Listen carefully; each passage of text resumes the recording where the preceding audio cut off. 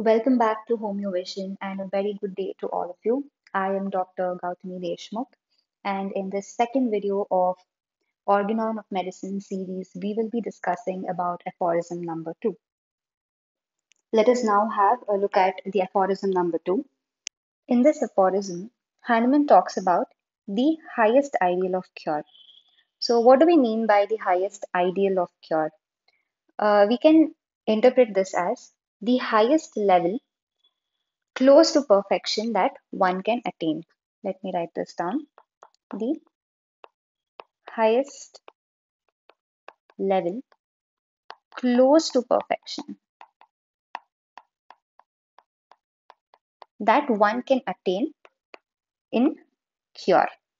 So this is what Hahnemann is trying to tell us. In this aphorism, Hahnemann gives us the qualities of a of an ideal cure. Now, what are these qualities? Let us have a look at that.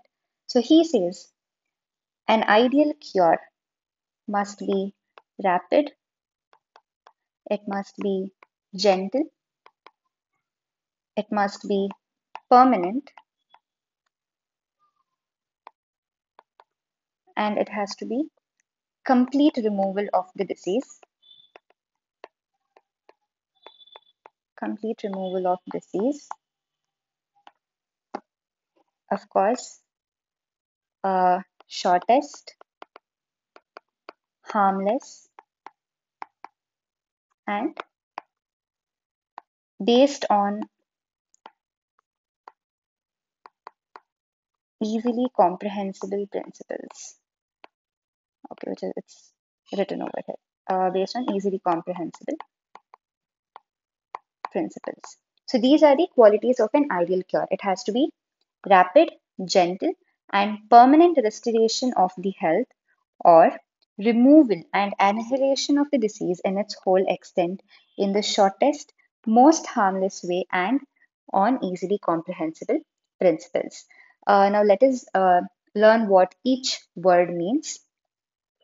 Okay, now when we say rapid, of course, we have a deceased man who is in uh, who is in suffering he already has a lot of pain and agony, and what he desires is a speedy recovery. And what we desire is to give him a speedy cure. So, this is what Hahnemann is trying to tell us that an ideal cure must obviously be rapid. We have to relieve the sufferings of our patient as fast as possible. Now, by the what does he mean by the word gentle? Gentle means um, we should not be adopting any harmful methods of treatment. We should not be adopting any harmful methods of treatment. He says that our sick man, our patient, is already in a lot of suffering. He is already in a lot of pain and agony. The methods of treatment that we employ must not add on to his sufferings. It has to be gentle. The treatment that we give him should not give him much more pain. Instead, it has to be gentle and it has to be harmless. The reason why he talks about cure being gentle is that during Hahnemann's time, a lot of harmful and torturesome practices like leeching, blistering, venesection, use of purgatives, use of emetics, all these practices and methods of treatments were very much popular and very much prevalent during his time. So he says all these methods of treatments were in fact adding on to the suffering of the patient. It was giving them much more pain than that person was already in. So he says our method of treatment or our cure must be gentle and it should not add fuel to the fire that the patient is already in. This is the meaning of gentle. And now he says permanent restoration of the health. Um, when whenever we are treating a patient, I always take this example of fever and antipyretics. If a person has a fever and if we give him an antipyretic, the antipyretic will maybe act for four or five hours and during the duration of the action the fever will subside and the after the duration of action of that particular antipyretic the temperature will rise again. Can this be called as a cure? Definitely not because there is a recurrence of the symptom. So this cannot be called as cure. So therefore Hahnemann says that there has to be a permanent restoration of health if there is if there are any recurrence of symptoms then this cannot be termed as cure so he says cure must always be permanent And he also uses the word removal and annihilation. Annihilation means complete destruction, okay, of the disease in its whole extent. So let us understand one concept over here. We have a we have the vital force, which in uh, in its state of equilibrium, when it's whenever the vital force is functioning harmoniously, we are in a state of health. But whenever the vital force is deranged, a deranged vital force will manifest itself in the form of symptoms, many symptoms, correct? Now, this set of symptoms is going to be called as a disease. Okay, the set of symptoms is called as a disease. So, what Hahnemann is trying to tell us in this aphorism is that removal of one or two symptoms cannot be called as a cure. We need to annihilate or remove this entire disease, by which he means that all the symptoms of a disease have to be removed. And in order to remove all the symptoms of a disease, we will have to treat the deranged vital force. So he says uh, restoration of health. This is what he means by uh, restoration of health. He says that the deranged vital force has to be brought back to its healthy, harmonious state. That is the restoration of the uh, of the sick person to his healthy state.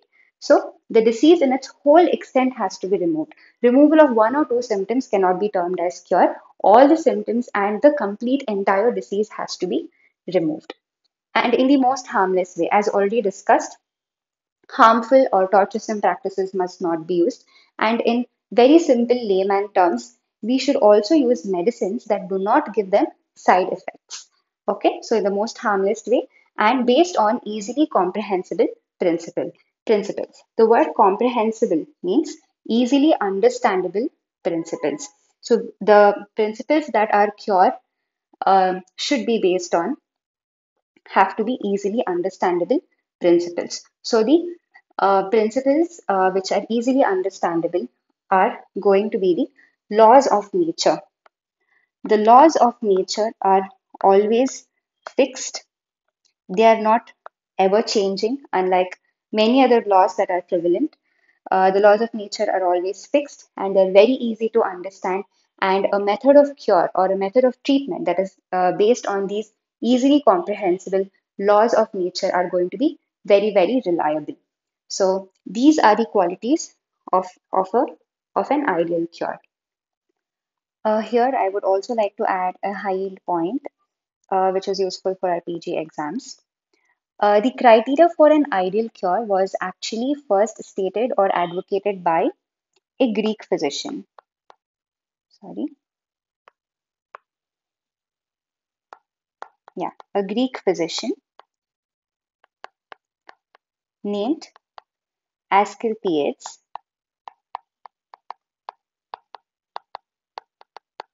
in 124 BC.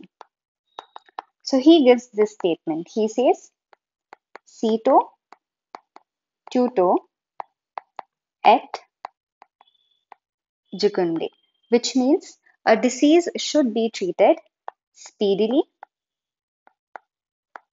safely, and agreeably. If there are any questions, please feel free to put them in the comment section. Like and subscribe for more content. Thank you for watching.